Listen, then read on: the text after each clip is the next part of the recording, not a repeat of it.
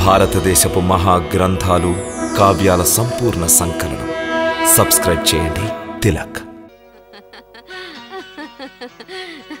నిజంగా అప్పుడు నువ్వు చూసినట్టయితే నా అలాగే నవ్వేదానివనుకో వాళ్ళు వెన్న దొంగిలించడం ఎవ్వరూ చూడలేదనుకున్నారు. అక్కడ నాలుగు వైపుల నుంచి మా అందరి కళ్ళు వాళ్ళ మీదే ఉన్నాయి. యశోదా వాళ్ళిద్దరూ వెన్న దొంగిలించుకుని పోయి మా కళ్ళు కప్పామని నవ్వుకున్నారు. ఓరి దేవుడా వాళ్ళేమనుకుంటారో? ఇంట్లో తినడానికి వెన్న పెట్టడం లేదులా ఉంది. అందుకే దొంగిలించి తింటున్నాడనుకోరు? అలా ఎవ్వరూ అనుకోరు. వాళ్ళంతా బాబు పైన ప్రేమ పెంచుకుంటున్నారు. మొన్న మన వసంతింట్లో వెన్న దొంగిలించినప్పుడు తన భాగ్యమని పొంగిపోయింది. నీ కన్నయ్య నవ్వులో ఉన్న మా ఏమిటో గాని ప్రతి ఒక్కరూ ముగ్ధులవుతారు. ఎవ్వరికీ కోపం రాదు. కానీ ఎప్పటి వరకు అలా అనుకుంటారో? ఒకరోజు అందరూ దొంగ దొంగ అంటారో? రాని ఇంటికి వాడి సంగతి తేల్చేస్తాను.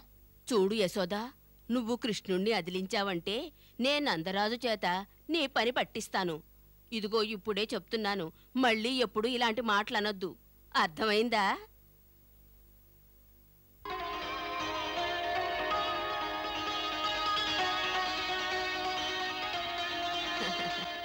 ఇదిగో యశోదా నీ కృష్ణయ్య వచ్చాడు.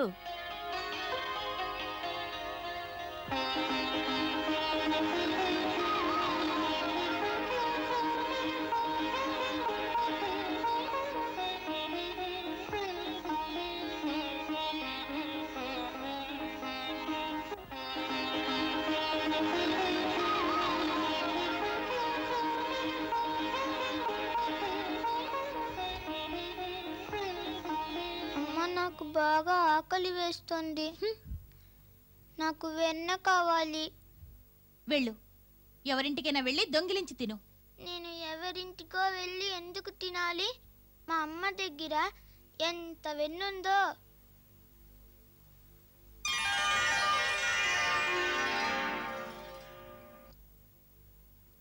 కానీ నీకా వెన్న దొరకదు. కావాలి! నువ్వు వసంత ఇంట్లో వెన్న దొంగిలించావు. ముందు చెవులు పట్టుకుని క్షమాపణ అడుగు. మళ్ళీ ఎప్పుడూ దొంగిలించనని నాకు మాటివ్వు. అప్పుడే వెన్న పెడతాను నీకు. వెన్న నాకు కావాలి. నువ్వెంత అరిచినా సరే నేను నీకు వెన్న పెట్టను పెట్టను. నాకు వెన్న కావాలి వెన్న పెట్టు. ముందు చెవులు పట్టుకో. క్షమాపణ అడుగు వెన్న పెడతాను. నాకు వెన్న పెట్టు. నేను పెట్టను. ముందు నాకు వెన్న కావాలి. ముందు క్షమాపణ అడుగు. కుండ బద్దలు కొట్టినా? ఆ? ఏమిటి? వెళ్ళు వెళ్ళి బద్దలు కొట్టు. బద్దలు కొట్టినా? వెళ్ళు. కొట్టాను వెళ్ళు బద్దలు కొట్టు. నేను చూస్తాను ఎలా బద్దలు కొడతావో.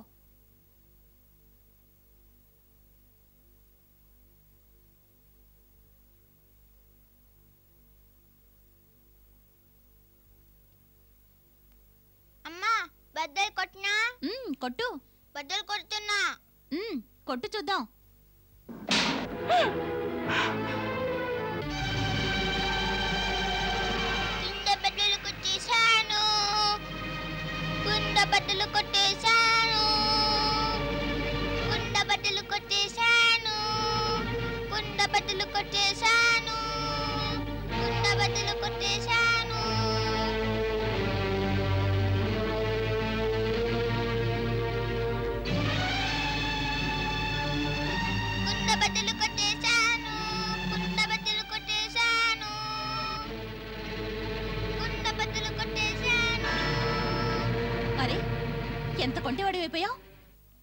పెన్న పెట్టలేదని కొండ బద్దలు కొడతావా? నిన్ను? ఉండు నీ పని చెప్తాను. కన్నయ్య ఆగు. ఎక్కడికి? ఎక్కడికి పరిగెడుతున్నావు? ఆగమన్నానా? నిన్ను? ఆగు అక్కడే. కొండ బద్దలు కొడతావా? నిన్ను? చూడేం చేస్తాను.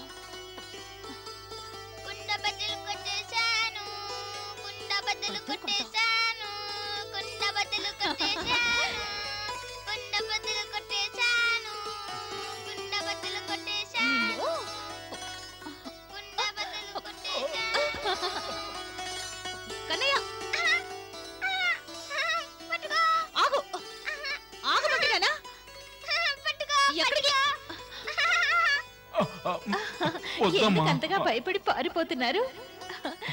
ఏదో పులి తరుగుతున్నట్లు. పులంటే ఎవరు భయపడతారు? మాత తన చెయ్యెత్తి ఒక్క దెబ్బ వేస్తే ఒళ్ళంతా నొప్పి వేస్తుంది. మాత క్రోధం భరించటం అంటే తేలిక కాదు. ఆ, తమ చెంత సుదర్శన చక్రం ఉంది కదా? దానితో అడ్డుకోండి. రాధ ఓ గొప్ప వ్యక్తే కావచ్చు. అతని వద్ద మహాశక్తివంతమైన అస్త్రం ఉండవచ్చు. దానిని లిప్త కాలంలో సుదర్శన చక్రం నాశనం చేస్తుంది. మరిది మాత క్రోధం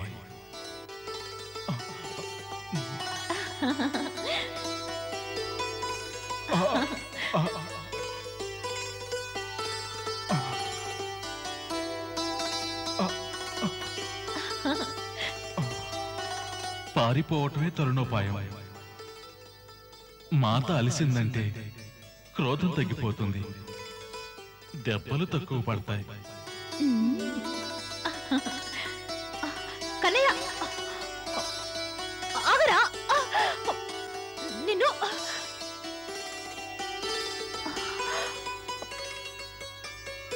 ఎక్కడికి వెళ్తావు? ఆగు. ఇవాళ నిన్ను కట్టిపారేయలేదంటే నా పేరు యశోద కాదు. రైట్ ఇవాళంతా నిన్ను రోటికి కట్టిపారేస్తాను ఎండలో మలమలా మాడిపోతావు. అప్పుడు చూస్తాను మళ్ళీ ఇలాంటి పనులు ఏమైనా చేస్తావేమో.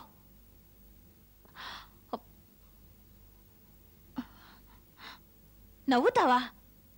నిన్ను?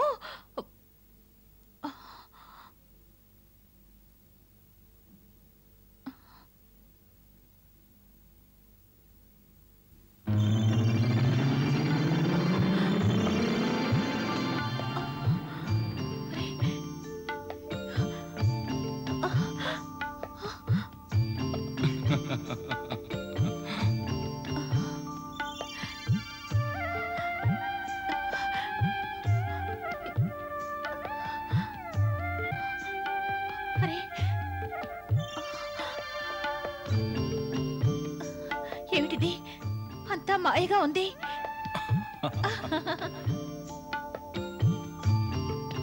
ఆగు పెద్ద తాడుతో ఇప్పుడు నిన్ను బంధిస్తాను.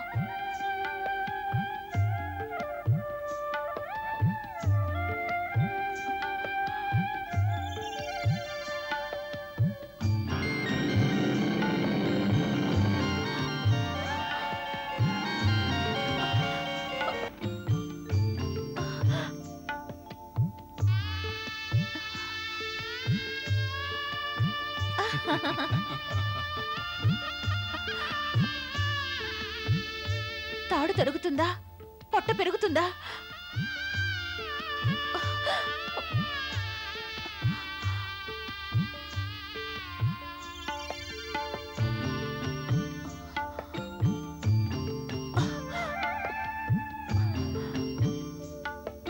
ఇప్పుడు చూస్తాను ఎందుకు సరిపోదో.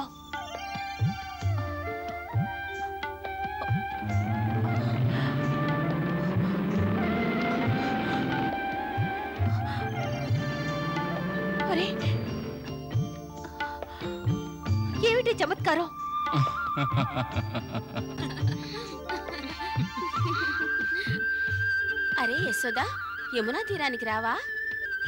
వస్తాను. ముందు కొంటెవాడి సంగతి చూసి. అరే ఏం చేస్తున్నావు అమాయకుణ్ణి? వీడు అమాయకుల్లా కనిపిస్తున్నాడా నీకు? వెన్న కావాలట. ఇవ్వలేదని ఎంత కోపం వచ్చిందో. భయం భక్తి లేకుండా కొండ బద్దలు కొట్టాడు.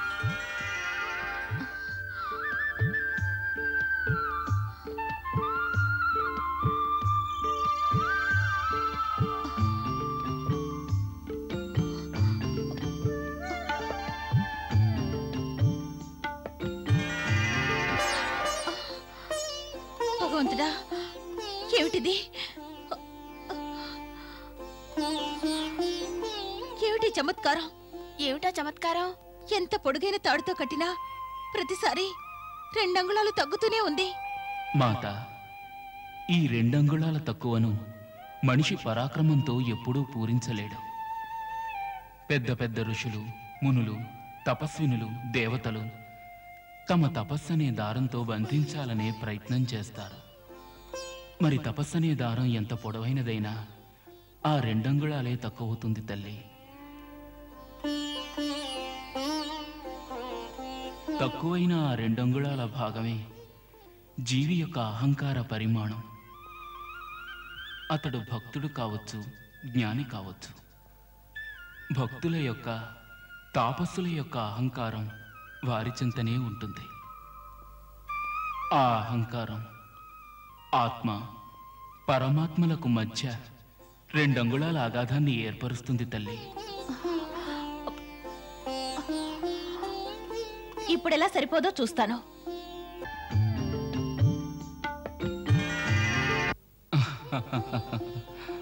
మాత వారిని బంధిస్తున్నావా? వారే అందరి బంధనాలను విడిపించేవారు. వారిని బంధించగలవా? నేను తప్పక నిన్ను బంధిస్తాను. చూడు ఎలా బంధిస్తానో.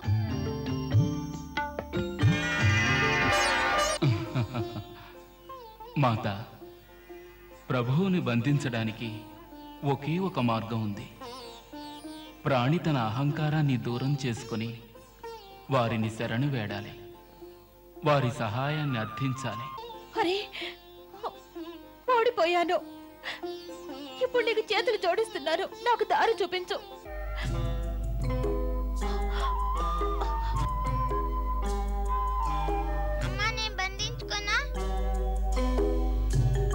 ఇదిగో బంధించుకో.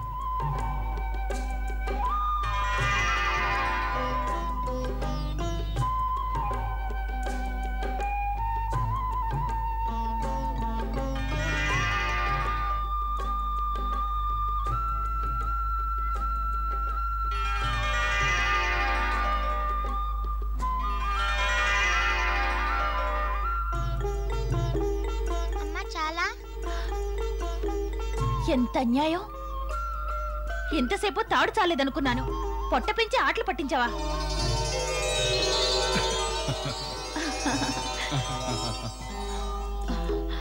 సరే నేను రోటికి కట్టేసి ఇవాళంతా ఎండలో మార్చేస్తాను.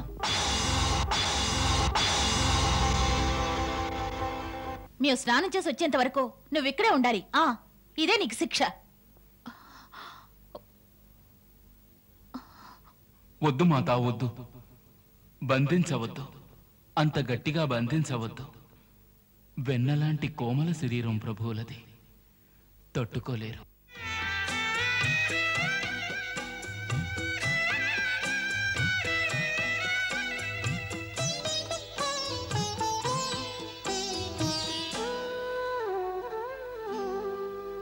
Yashoda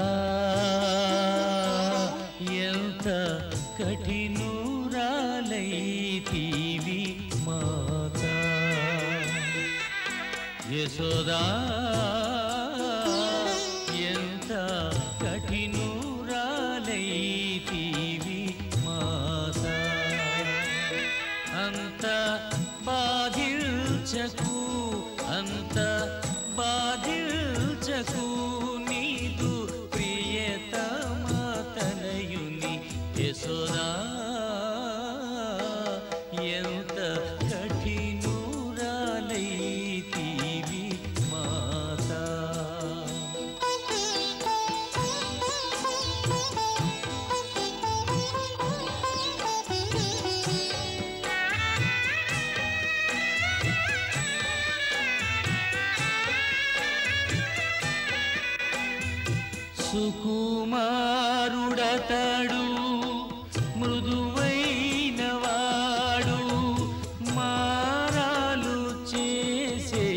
See you.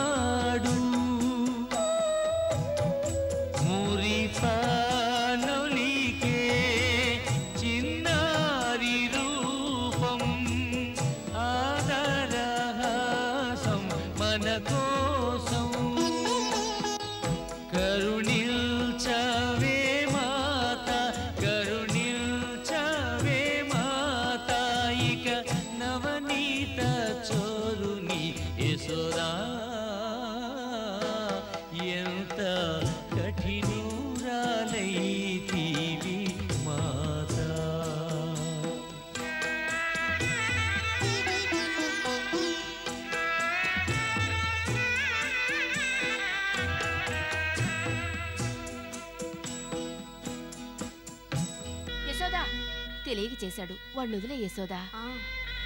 లేదు సుభద్ర. వాడి చిలిపితనం మరీ ఎక్కువైంది. ఇలా శిక్షిస్తే తప్ప బుద్ధి రాదు.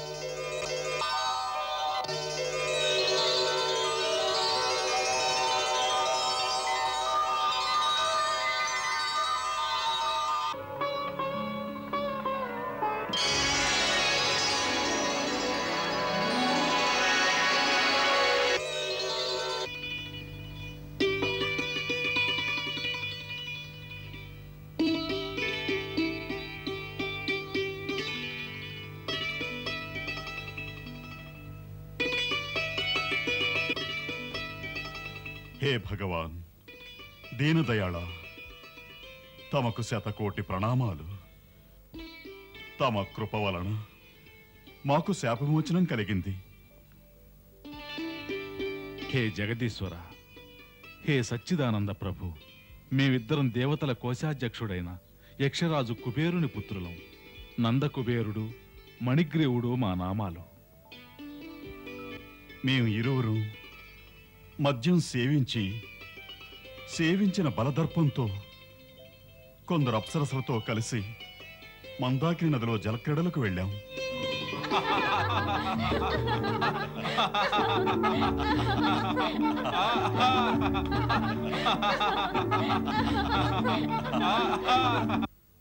ఆ సమయంలో మహర్షి నారదుల వారు భగవానుడు నరనారాయణ ఆశ్రమానికి వెళుతూ వెళుతూ అనుకోకుండా అటుగా వచ్చారు.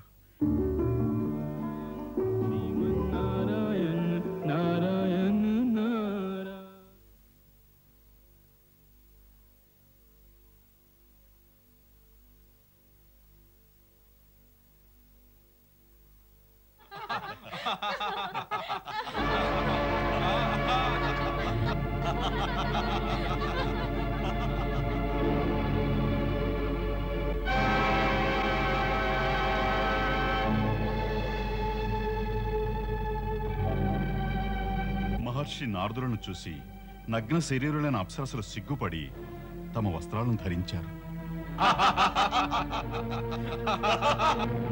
కానీ మేము ఇరువురు మా తండ్రికున్న బలం ధనగర్వం ఈ దుర్గుణాల వల్ల అంధులమైపోయాం మహర్షి నారదుని తిరస్కరించి మేము నగ్న శరీరులుగానే ఉండిపోయాం.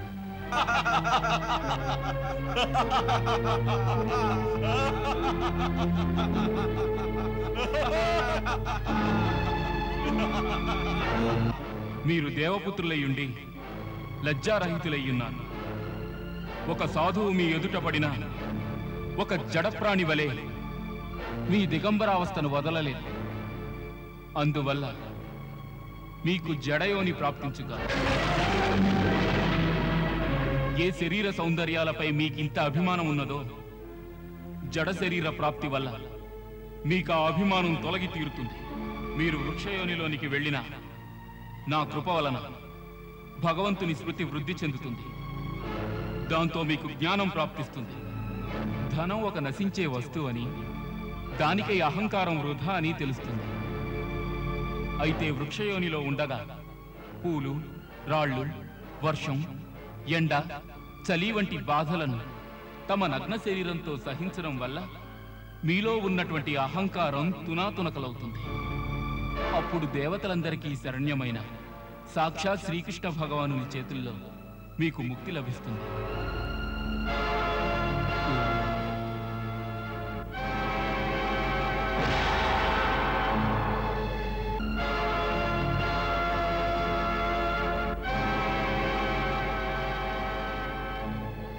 మహర్షి నారదుల శాపం నుంచి విముక్తి పొందే మార్గం తెలుసుకుని నేటికి విముక్తిని పొందాం.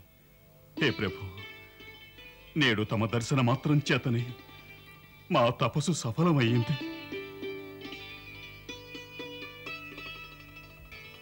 హే కుబేరపుత్రులారా ఇకపై మీరిరువురు నా భక్తులై మీ లోకానికి వెళ్ళండి. మిమ్ము ఇహలోక చింతల నుంచి తప్పించే మా అవ్యాజ కృప మీకు లభించింది.